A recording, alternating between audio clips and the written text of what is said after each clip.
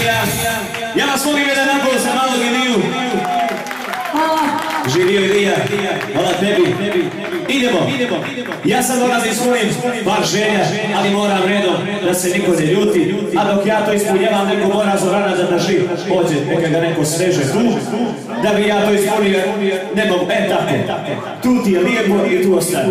Oj svjetla, majska zoro, pozdrav za sve goste, od vama i milijane, idemo redom s vašim željama.